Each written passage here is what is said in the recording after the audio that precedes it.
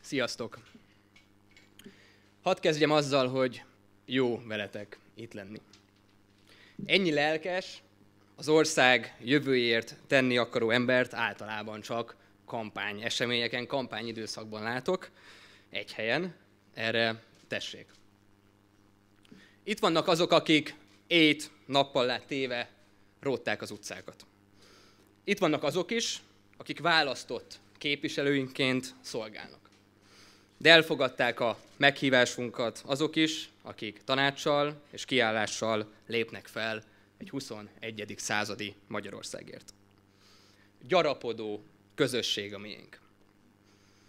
Miközben hallgattam az előttem felszólalókat, Klárit és Gábort, megfogalmazódott bennem egy érzés. Most pedig, hogy itt állok a színpadon, látva titeket, a Momentum oszlopos tagjait, vendégeink sokaságát és támogatóinkat, ennek az érzésnek nevet is tudok adni. Remény. 2018-ban a parlamenti választáson az volt a szlogenünk, mindannyian tudjátok, hogy van remény. Szlogennek sem volt rossz, de végül kiderült róla, hogy inkább jóslat lett belőle. Annak viszont elég jó. Reménnyel tölt el, amikor azt látom, hogy olyan emberek jönnek össze, akiknek számít, hogy milyen irányba megy Magyarország. Olyan emberek vannak ma itt, akik akarnak és tudnak is tenni azért, hogy ez a bizonyos irány egy európai, egy tisztességes, becsületes, zöld, vagyis 21. századi irány legyen. Köszönöm, hogy ma itt vagytok velünk. Új évtized, új lendület. Ezt hirdeti a mai eseményünk. Azért választottuk ezt a címet, mert ha valamire, hát lendületre egészen biztosan szüksége lesz Magyarországnak az új évtizedben. Ma, a 2020-as évek kezdetén fontos, hogy megálljunk és számot vessünk azzal, hogy milyen évtizedet hagyunk magunk mögött, és hogy beszéljünk arról, mi vár ránk az elkövetkezendő években és évtizedekben. Egy olyan időszakot hagyunk magunk mögött, ami a magyarok helyett Orbán Viktorról szólt. Közös problémáink, közös reményeink, közös vágyaink, közös álmaink helyett az Orbán család magán érdekeiről, magán üzleteiről és magán vagyonáról szólt. Az arcom leszakad, amikor azt látom, hogy Magyarország leggazdagabb embere, Orbán Viktor, aki lopott pénzből lett forint 100 milliárdos, a vagyon nyilatkozatában azt írja, hogy kevesebb megtakarítása van, mint a rezidensként dolgozó hugomnak.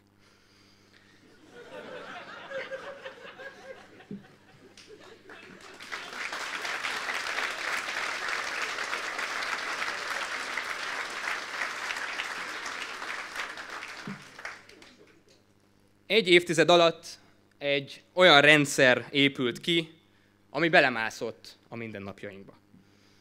És amiről a fiatalabb generációk egyébként legfeljebb csak történelem könyvekben olvashattak, vagy a családi beszélgetéseken hallhattak. Ez a 80-as évek elejének világa, amikor már nem visz el az Andrási útra a fekete autó azért, mert elmondtál egy viccet a főnöködről, de Andrási úti lakásod csak akkor lesz, ha a miniszterelnök családtagja vagy üzlettársa vagy. Ha majd az utánunk jövők a 2010-es évekről tanulnak, akkor párhuzamos valóságok képét fogják látni. Ami az egyik oldalon nemzeti szabadságharc, az a másik oldalon korrupt oligarchia. Ami valakinek gránit szilárdságú alaptörvény, az másnak a demokratikus fékek és ellensúlyok sárba tiprása. Ami egyeseknek gazdasági fejlődés, az másoknak visszafordíthatatlan leszakadás. Ezekről a párhuzamos valóságokról szóltak a 2010-es évek. Ezek a párhuzamos valóságok sajnos fájóan ismerősek lehetnek azoknak, akik megélték a 70-es, 80-as éveket. Mintha a 20. század nem ért volna véget, hanem azóta is kísértene minket. A 20. század kísérti ma is Magyarországot gyűlöletkeltés, orosz befolyás és állampárti eszközök formájában is. Politikai értelemben a 20. század még nem ért véget. A 20. század 2022-ben érhet véget. Ehhez azonban kezdenünk kell valamit azzal a helyzettel, amiben Magyarország benne ragadt. Egy felelős politikusnak nem elég arról beszélnie, hogy mi a terve a 2022-es választásokra. Nem elég arról beszélni Facebook bejegyzésekben, meg interjúkban, hogy milyennek kell lennie az ellenzéki összefogásnak 2022-ben. Ezek fontos, de technikai jellegű kérdései a politikának. Ennél vannak sokkal, de sokkal fontosabb a magyarok sorsát érintő kérdések. Történelmi távlatú kérdések, amelyek meghatározzák, hogy mi vár ránk az Orbán rendszer után egy 21. századi Magyarországon. Melyek biztosítják, hogy senki nem építhet ki újra teljhatalmat Magyarországon. Melyek után nem tévedünk vissza újra bizonyos rossz szokásokhoz. Ha ezekre a kérdésekre van válaszunk, 2022-ben nem csak az ellenzék nyerhet, hanem Magyarország is, és a magyarok is. Ez a valódi cél, és csak akkor nyerhetünk, ha tudjuk, hogy hol képzeljük el Magyarország helyét a világban. Nemzeti magányban, Vladimir Putyin karjában, vagy Európa magjában. Hiszek abban, hogy a Momentum erről az útról szól, ez a létezésünk célja. És éppen ezért ma az aktuál politika mellett erről a célról és a közös jövőnkről szeretnék beszélni. Ezen az úton a tavalyi év egy fontos mérföldkő volt. 2019 volt a Momentum történetének legsikeresebb és egyben legnehezebb éve is. Brutálisan sok munkát tettünk, tettetek bele az EP és az önkormányzati kampányainkba. Emlékszem egy, egy üzenetre, amit ebben az időszakban kaptam, így szólt, András, politikus a magyar történelemben ennyi időt még nem töltött aluljárokban, mint amennyit te.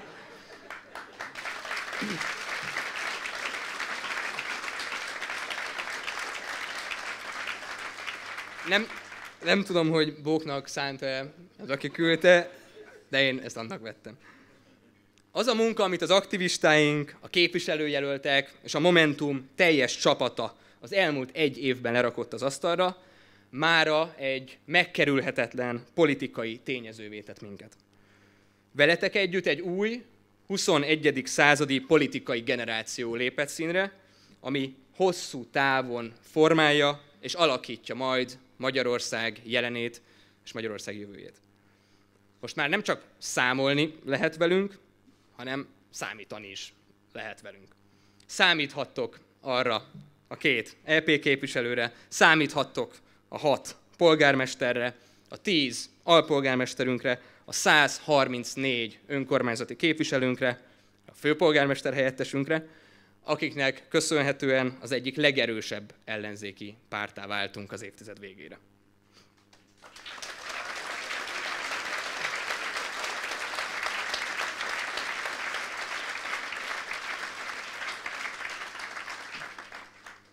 A Cserszeg Tomai polgármesteri hivataltól a Nógrád megyei közgyűlésen át egészen a budapesti városházáig, sőt, az európai parlamentig bezárólag mi momentumosok ott vagyunk, hallatjuk a hangunkat, számon kérünk, és ami ennél is fontosabb, cselekszünk és dolgozunk. Mi vitapartnernek tekintünk mindenkit, és örülünk annak, ha rávesszük környezetünket arra, hogy változzon. Hogy a Fidesz felismerje, hogy nők is vannak a világon, és nem csak a konyhában a helyük.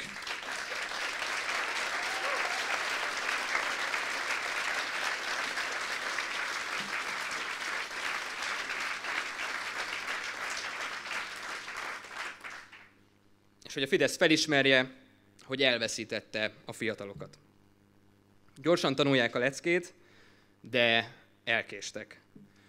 Igaz ugyan, hogy a Momentum nélkül ma nem lenne 20 éves helyettes államtitkár, és ismeretlenül is kívánok jó munkát neki, mert mi sohasem bántunk senkit sem azért, mert fiatal. Már hallják a hangunkat, de még mindig nem értik, amit mondunk. De nap mint nap rádöbbentjük arra a szövetségeseinket is, hogy hagyják maguk mögött a régi rutinokat, reflexeket. A mi kezünk tiszta, és az is marad. Tesszük a dolgunkat, a fiatalok lendületével és a politikusok alázatával. Tesszük a dolgunkat, hogy legyőzzük az ellenfeleinket, akik nem az ellenségeink, ahogyan sokszor ők ránk tekintenek, és meggyőzzük a szövetségeseinket. Mi így szolgáljuk a választóinkat.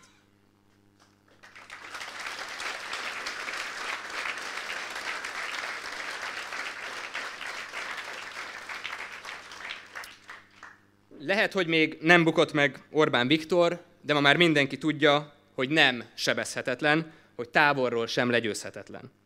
Az öntelt, gőgös, a választókat a vadász kastélyok tornyaiból figyelő politika tavaly októberben vereséget szenvedett. A vadász kastély politika kudarcával a centrális erőtér eddigi formájában megszűnt. A NER viszont még mindig itt van, és legfeljebb csak megbicsaklott. Az, hogy meddig nyomasztja tovább a magyarok életét, az nem csak a választásoktól függ. A választások után le is kell bontani ezt a rendszert tégláról téglára. Ezért is bontja fel Terézváros a szerződést a figyelő, figyelővel, ezért akadályozzuk meg Trócsányi László biztosi kinevezését, és ezért számoljuk fel a Fidesz oligarchák ingyenes VIP parkolását a Várnegyedben.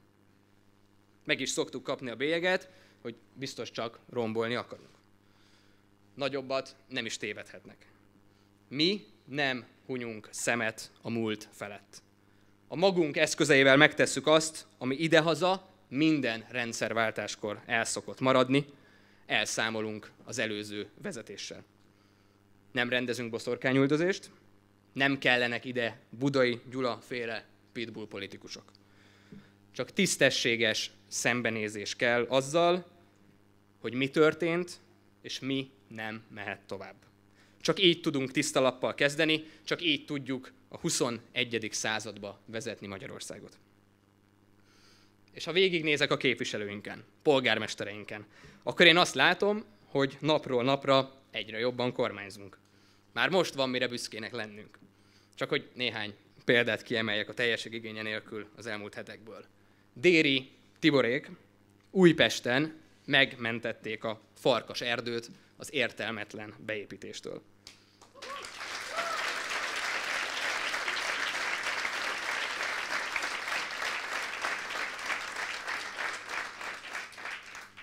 Soproni Tamásség Terézvárosban az idáig üresen álló önkormányzati lakások felújításáról döntöttek, mert a lakásválság megoldása nem várhat tovább.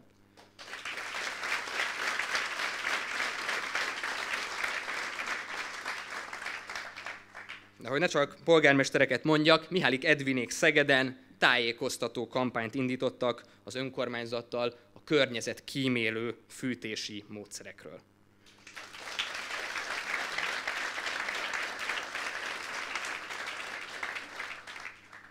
Katka és Anna aktív részvételével és az Európai Pártcsaládunk kezdeményezésére szavazta meg az Európai Parlament a legátfogóbb európai környezetvédelmi csomagot, az európai zöld megállapodást, a Green New Deal-t.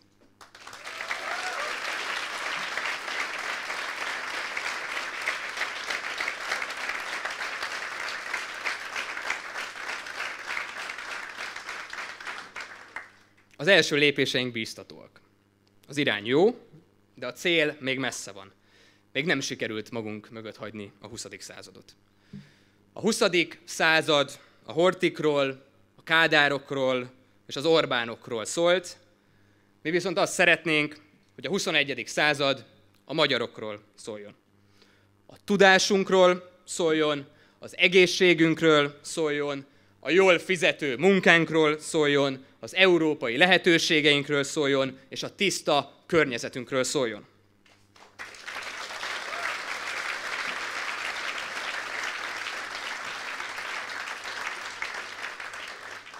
A célunk, hogy végre megérkezzünk oda, ahol Magyarország megérdemelt helye lenne, a 21. század nyertesei közé. Ebben az új korszakban a magyar politika már nem engedheti meg magának azt, hogy kizárólag piros, fehér, zöld szemüvegen, szemüvegen keresztül szemléje a világot. Aki így tesz, az elszigetelődik, elveszíti barátait, szövetségeseit, magára marad, egyedül marad. Hatása Magyarország 93.030 négyzetkilométerére korlátozódik. Ennél nekünk sokkal bátrabbnak kell lennünk.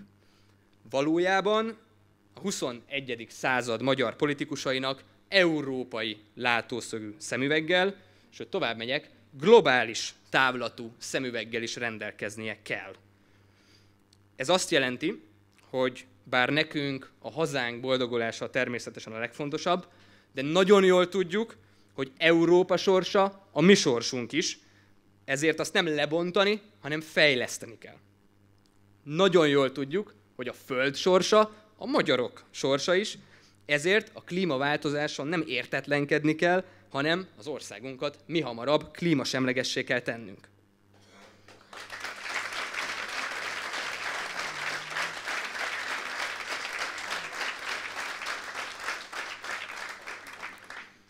Az a politika, ami megoszt, ami folyamatosan ellenséget keres, és persze talál is minden bokor mögött, ami valami ellen és nem valami mellett áll ki. Az egy vagy akár több kampányt ugyan sikerre vihet, de az országot egész biztosan előbb-utóbb nyomorba dönti. Ez ugyanis nem őszinte politika. A problémákat nem megoldani akarja, azokat előállítani akarja, hogy aztán a megmentő képében tetszelegjen. Látszat problémák és szélmalom harcok helyett valódi ügyekre és valódi közös célokra van szükségünk. Ideje, hogy új lendületet vegyünk. Kell egy új építkezés. Fel kell építenünk a 21. századi Magyarországot. Ahhoz, hogy ezt elérjük, nekünk, magyaroknak öt nagy feladatot kell megoldanunk. Ahhoz, hogy meg tudjuk ezeket valósítani, 21. századi minimumra van szükség, mert ezek nem egyetlen, hanem több kormányzati ciklus feladatai. A magyarok tudása, vagyis világ színvonalú magyar oktatás. A magyarok egészsége, vagyis a legkorszerűbb egészségügyi ellátás. A magyarok munkája, vagyis magas, hozzáadott értékű, családbarát munkahelyek. A magyarok európai lehetőségei, vagyis az Európai Unió fejlesztése. A magyarok környezete, vagyis klíma semleges Magyarország mielőbbi elérése. Ezek a Momentum, és ezek lesznek a Momentum fő prioritásai a következő években, évtizedekben.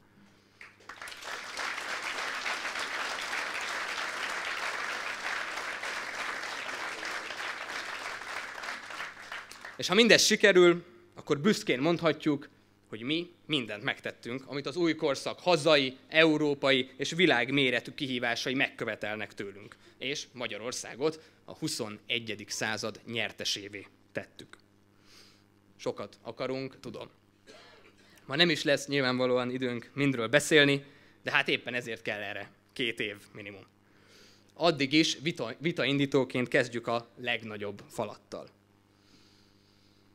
Ha van olyan téma, ami szekér táborokon és ország határokon túlnyúlva vitán felül áll, és mindenkit megmozgatott az elmúlt évben, az a klíma katasztrófa megelőzése. A mai időjárás az partnerem volt ebben a részében a, a beszédemnek, meg az arcom jelenlegi ö, halmazállapota is, és ugyanúgy partneremben. Kivételt képeznek ez alól természetesen a Bayer Show korlátolt értelmi képességgel vagy felelősségérzettel megáldott tagjai. Őket ezúton is szeretnénk megnyugtatni, hogy nem, a klíma semlegesség nem azt jelenti, hogy betiltjuk az időjárást. De ez a példa is tökéletesen mutatja, hogy a klímakatasztrófa árnya milyen komoly zavart okozott a kormánypárti megmondó emberek világában.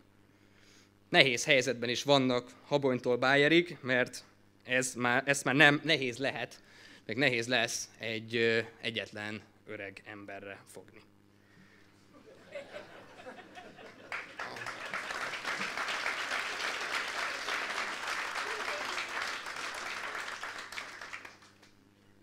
Az egész EU-ban a harmadik legszennyezettebb levegőt szívják a magyarok. Vagyis a klímaváltozása mindennapjaink része. A Duna vízhőmérséklete például, amely a Paksi atomerőmű reaktor blokkjainak hűtővizeként szolgálna. A nyári kánikulák, a földjeink kiszáradása, a városi smogriadók, a gyümölcseinket beporzó méhek kipusztulása, mind-mind egy-egy újabb ügy, amivel nekünk foglalkoznunk kell. És nem kell Ausztráliáig vagy az Amazonasig mennünk, hogy lássuk, van itt feladatunk bőven. Cselekednünk kell, mert a klímakérdés már a lét kérdésé vált. És amikor azt mondom cselekedni, az alatt nem zöld színű pártlogókra, vagy klíma vétósból klíma kaméleonná vedlet miniszterelnökökre gondolok.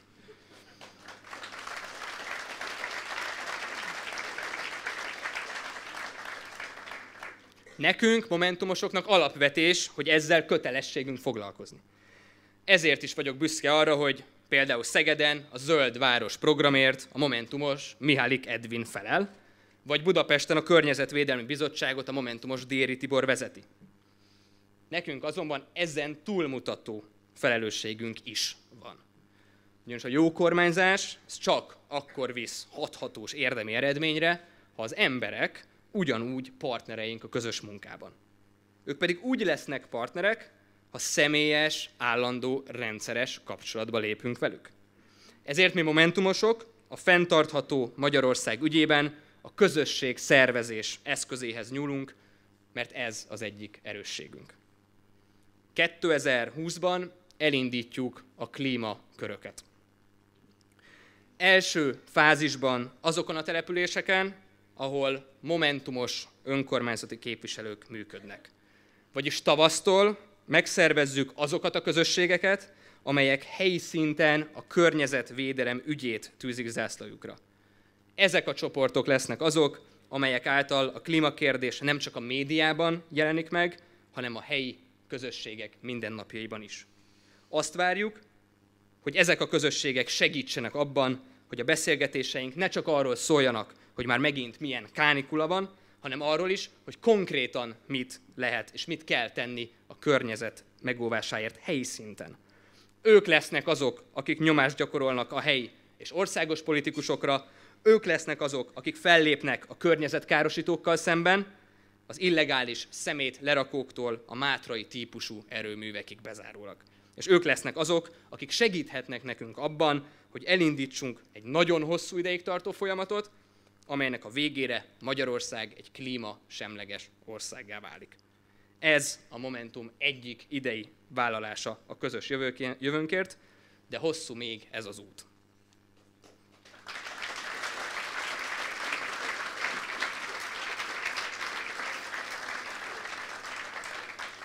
Mindezek ugyanis csak akkor válhatnak valóra, ha két feladatot sikerrel teljesítünk. 2022-ig át kell törnünk a kis települések világa köré épített narancssárga falat, és fel kell készülnünk a kormányzásra.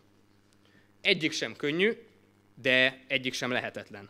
A nulláról néhány év alatt felépíteni egy 21. századi pártot sem volt könnyű. A 18-as választási pofon után felállni, és egy évvel később visszaadni azt a pofont Orbán Viktornak sem volt könnyű. Most csütörtökön Moson Magyaróváron jártam fórumot tartani. Végre fideszes szavazók is eljöttek erre a fórumra. Kíváncsiságból. Az esemény előtt egyikük azt kérdezte hangosan, na hol van ez a... Ki tudjátok találni.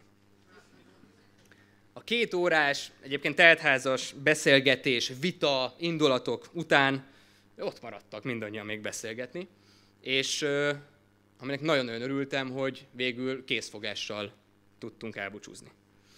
Mi ebből nekem a tanulság? Egyrészt, hogy megéri országot járni, másrészt természetesen, hogy van remény.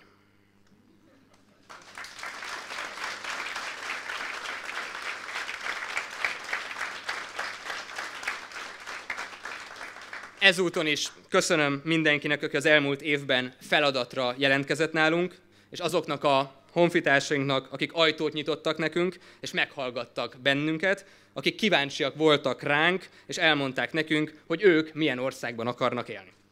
Ezek a beszélgetések, ezek a találkozások lépésről lépésre hoznak bennünket közelebb ahhoz, hogy közös nevezőre jussunk a jövőnket érintő kérdésekben.